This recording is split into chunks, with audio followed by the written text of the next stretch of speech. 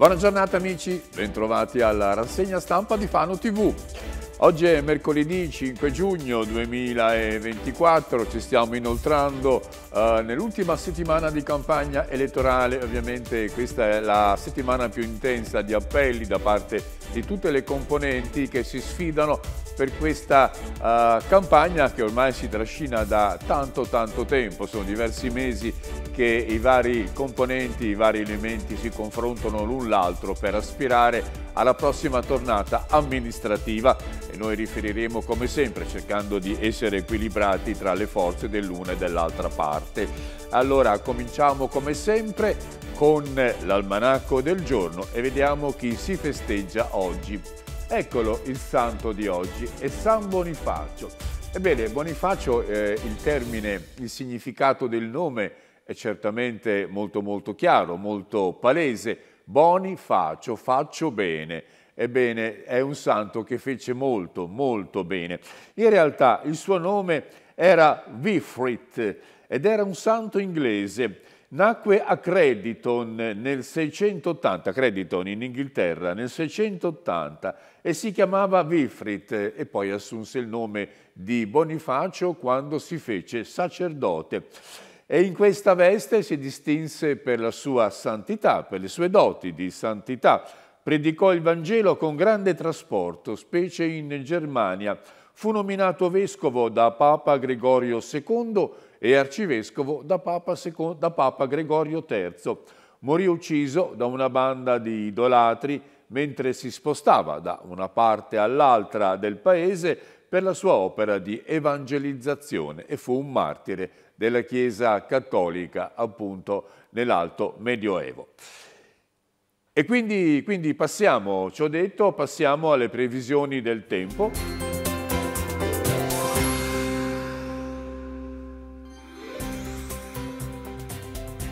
Oggi abbiamo tempo buono su tutte le marche, il tempo stabile in gran parte soleggiato con piccoli addensamenti diurni nelle aree interne senza però particolari effetti. Le massime raggiungeranno i 24 gradi, le minime si sono attestate sui 18, i venti sulle coste spireranno con una tensione debole da est e sud-est, nell'interno invece da ovest e sud-ovest. Eh, il mare è leggermente mosso, il sole è sorto alle 5.26 e tramonterà alle 20.45. Queste le previsioni del tempo, una giornata tutta da godere per quanto riguarda questi tepori estivi che non sono al momento né troppo, né troppo freschi né troppo caldi e quindi è una temperatura ideale. E allora vediamo i giornali, apriamo oggi il Corriere Adriatico e vediamo l'articolo di apertura dedicata all'Isippo.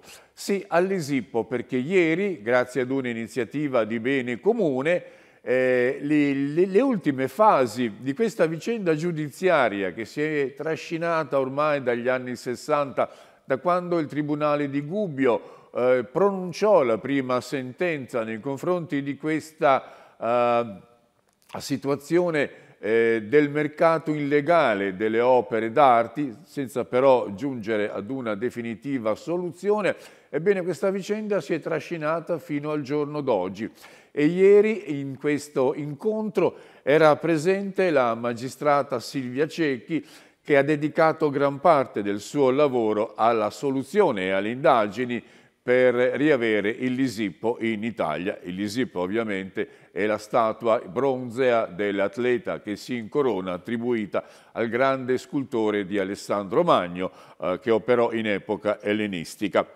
Lisippo, tre mesi con il fiato sospeso, il tempo che resta al Getty Museum di proporre un ricorso alla sentenza dell'Alta Corte di Giustizia europea che ha pronunciato una sentenza avversa al Getty convalidando la sentenza emessa dal Tribunale di Pesaro, ovvero l'ordinanza che impone al Getty di restituire la statua perché è stata acquistata in maniera illegale.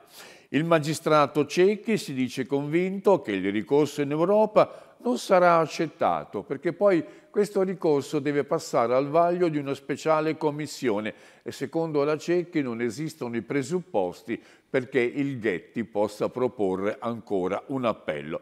Certo è che se la situazione si fermerà qui, ora o si fermerà tra tre mesi, poi eh, la palla passa alle corti, eh, alle corti giudiziarie californiane perché poi lì queste devono recepire quello che ha detto la Corte europea.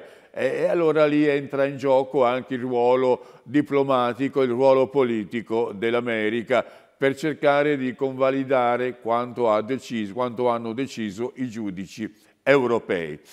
Ed è una questione piuttosto complicata. Vediamo anche come il resto del Carlino eh, affronta questa notizia ehm, che eh, ha in più un documentario che è stato realizzato da alcuni cineoperatori pesaresi per quanto riguarda la ricostruzione di tutta la vicenda dell'Elisipo e sembra che in questo documentario venga anche menzionato il luogo dove il Lisipo è stato pescato. La barca del Lisipo sappiamo dov'è, perché è una barca che potrebbe contenere ancora molti altri reperti che erano in fuga da Roma, dovevano essere trasportati verso Bisanzio. Siamo alla fine dell'impero romano e la capitale dell'impero veniva trasferita appunto da Roma a Bisanzio. I registi Furiassi e Agostini, autori del docufilm in lavorazione, raccontano Vogliamo recuperare il relitto entro l'estate, non è impossibile, beh, è un'impresa a cui facciamo noi tanti tanti auguri. Vediamo le altre notizie, eh, si parla di politica, si parla di elezioni nella, a fondo pagina del Corriere Adriatico, si parla di una piattaforma di 30 punti che è stata presentata ai tre candidati sindaco del comune di Fano da parte del comitato del centro storico. Il comitato ha organizzato più incontri con i politici, con gli amministratori di Fano per cercare di preservare quella, vivibilità che il centro storico, pur essendo un centro di attrazione per tutta la città, dovrebbe mantenere appunto. Ebbene, questo eh, protocollo, possiamo definirlo così, piattaforma più esattamente, si articola in 30 punti. Ne vediamo alcuni. Eh, secondo il comitato, i sindaci dovrebbero, i, i, colui che, che vincerà le elezioni, dovrebbe istituire un tavolo di concertazione tra amministrazione e residenti che sia stabile, che sia permanente. E poi questi rivendicano soprattutto il diritto alla quiete pubblica e poi eh, occorre un nuovo regolamento per ehm, le emissioni acustiche che tuteli insomma, anche la residenza oltre che l'operatività, la commercializzazione, non manca il riferimento all'ordine pubblico fondato sull'esigenza di, di assicurare di più la sicurezza ai cittadini e poi c'è il problema della viabilità. Ebbene, i residenti del centro storico rivendicano un eh, permesso eh, all'interno della ZTL per tutta l'area interna alle mura, senza essere limitati a zona per zona, come attualmente, e poi un adeguato numero di parcheggi gratuiti riservati ai residenti, prevedendo compensazioni in caso di nuovi interventi di pedonalizzazione, come anche per la vicenda di Piazza Marcolini. E lì ovviamente si, eh, eliminati, si sono eliminati dei parcheggi e, e i residenti vogliono che vengano eh, ripristinati magari da un'altra parte. Infine chiedono abbonamenti a prezzi scontati per gli stalli a pagamento.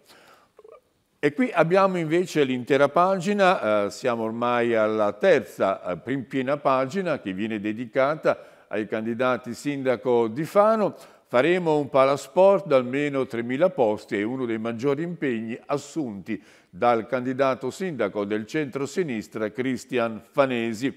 Idee per la città di domani, candidato sindaco del centro-sinistra, dice la sua più grande soddisfazione è il nuovo piano regolatore, tagliati 114 ettari di terreni edificabili. Ebbene, la protezione del suolo, il no al consumo del suolo, eh, è stata appunto osservata eh, dal nuovo piano eh, regolatore di sviluppo della città. Invece un, un riconoscimento doveroso ma prestigioso anche è stato dato alla Stroke Unit di Fano, quel sistema di cura e di prestazioni subito di pronto soccorso a coloro che hanno ricevuto un ictus. Ebbene, in questo caso la tempestività dell'intervento è essenziale per riavere, per salvare innanzitutto la vita e poi per riuscire a mantenere un grado di autonomia eh, sufficiente appunto ad andare avanti. Il premio internazionale Diamond alla Stroke Unique dell'ospedale di Fano. Ebbene, è stata una, uh, grande, con grande soddisfazione il direttore generale dell'azienda sanitaria territoriale eh, un, numero uno Carelli dice che il riconoscimento dimostra quanto il reparto sia un'assoluta garanzia per i pazienti. Il centro ha aggiunto eh, Samuele Bedetta, che è il direttore del reparto di medicina interna, ha fatto registrare oltre l'80% dei pazienti trattati in meno di 60 minuti dall'arrivo in pronto soccorso ed il 66% in meno di 45 minuti, considerando che ogni 15 minuti di ritardo si aumenta del 4% il rischio di emorragia cerebrale. Quindi vedete come la tempestività di raggiungere questo impianto, questo reparto essenziale per la salvezza della vita umana è una cosa imprescindibile, quindi bisogna anche questo aumentare i mezzi di soccorso perché anche in questa campagna elettorale si è ribadito che una sola eh, ambulanza eh, in servizio a 24 ore non basta, ce ne vuole di più di una. Allora, restiamo a Fano per vedere anche un, un, altro successo, quello ottenuto dall'associazione Vivere il Poderino, eh, eh, che ha organizzato un grande concerto. Sembrerebbe una cosa normale, ormai i concerti si organizzano da tutte le parti, in realtà questo è un concerto particolare. Un concerto particolare perché è stato realizzato in un parco, quello di via Piemonte e via Marche, che è stato in passato oggetto di vandalismi di situazioni di trasgressione da parte di gruppi di giovinastri.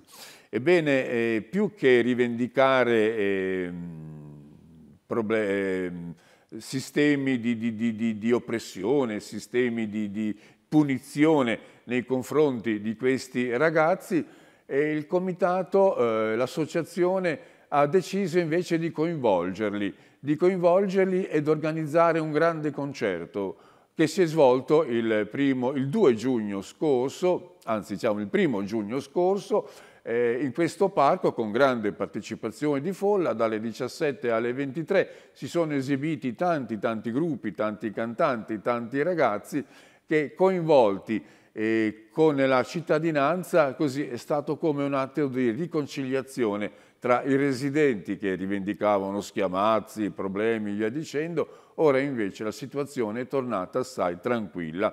Un concerto per fare pace, basta vandalismi nel parco, vivere poderino in via Piemonte, grazie alla musica tornate famiglie e giovani. Insomma, si è riappacificato il quartiere. A Fossombrone eh, c'è la minoranza che accusa la maggioranza di aver presentato il bilancio in ritardo che è con un avanzo spropositato di oltre 2 milioni di euro. Le critiche al bilancio comunale sono state portate dal portavoce Cristiano Coin, eh, il portavoce appunto della minoranza, eh, che ha definito lo stesso dato del bilancio scandaloso. Questa un po' è l'impressione appunto dell'opposizione. A Serra Sant'Abondo, dopo l'alluvione, è stato ripristinato il ponte carrabile a Serra. Il cantiere è addirittura d'arrivo, il commissario Babini fa il punto sui lavori di ripristino dopo l'alluvione del 2022. Un, ehm, un, ehm, un'opera che ormai dovrebbe essere giunta a conclusione, mancano infatti pochissimi giorni per fare la soletta, rampe e consegna del cantiere a cui seguirà in breve anche quello di Serra dei Conti in provincia di Ancona. A Senigallia, Senigallia si ripristina la vigilanza armata in spiaggia dal 14 giugno e intanto cambiano gli orari, scatterà alle 22. Il prossimo weekend ci saranno più controlli per il raduno dei bikers in vigore poi l'ordinanza anti-alcol, un'ordinanza che si è resa necessaria per contemperare le intemperanze che potrebbero sorgere dal raduno europeo delle Harley Davidson, un raduno che porterà a Senigallia tantissime persone e che costituirà uno dei più, più seguiti, più affollati eventi della stagione estiva. C'è l'assalto delle Harley, rivoluzione viabilità, appunto il raduno oh, comporta anche alcune eh, variazioni della viabilità, da domani a domenica le modifiche e i divieti, soprattutto nel centro storico e nella zona mare. Sulla pagina di Pesaro l'apertura è dedicata invece alla strada del mare, ovvero quella strada che da Fiorenzuola di Focara porta alla spiaggetta di Focara, insomma dall'alto del colle scende giù verso la spiaggia. Si tratta della perla del San Bartolo, meta incessante di bagnanti che affrontano salite, discese, tornanti pur di godersi di uno dei più bei angoli di questo paradiso ambientale eh, che presenta appunto il San Bartolo. Ebbene, qui eh, tutto quanto è stato ripulito, eh, quindi sono state effettuate operazioni di look e di pulizia in modo che questo, questa passeggiata sia la più bella possibile. La strada del mare, così si chiama, e sta, ha intercettato i fondi del Climate Change del Ministero della Transizione Ecologica, 400.000 euro appunto che sono serviti per ripulire il tutto.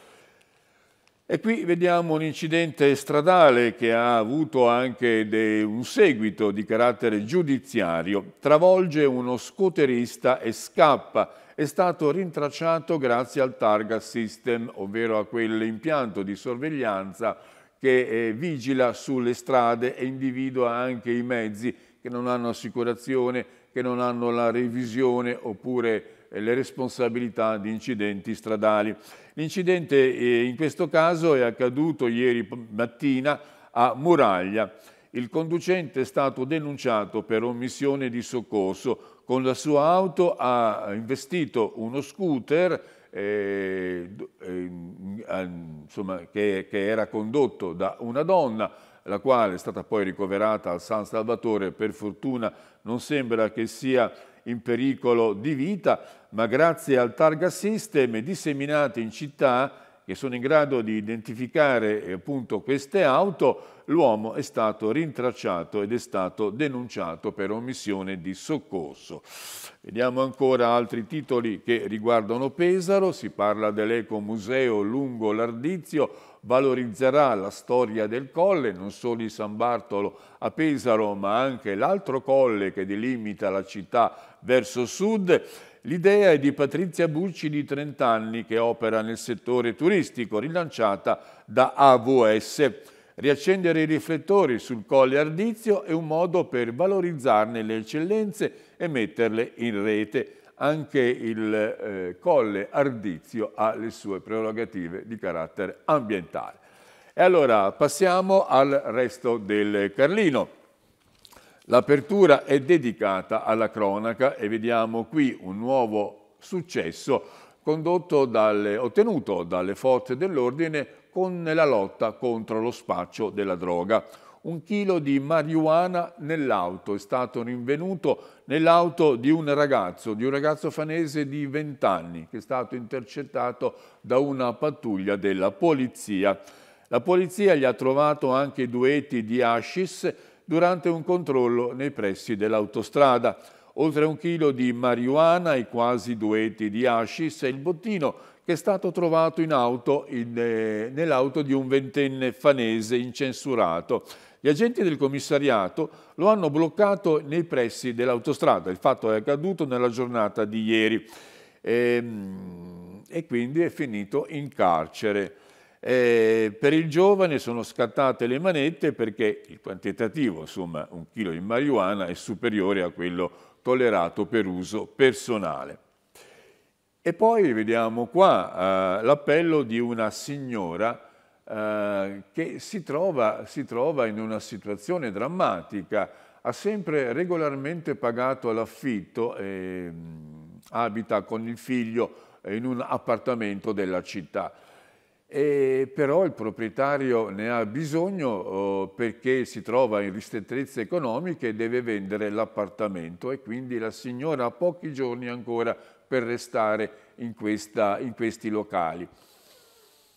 Che cosa accade? Accade che nonostante tutti gli sforzi fatti non ha trovato un appartamento. Lei è in grado di pagare 5 al massimo 600 euro al mese, li ha sempre pagati, lavora regolarmente e cerca un appartamento che non trova e pensare che a Fano si dice, si dice ci siano 5.000 appartamenti sfitti.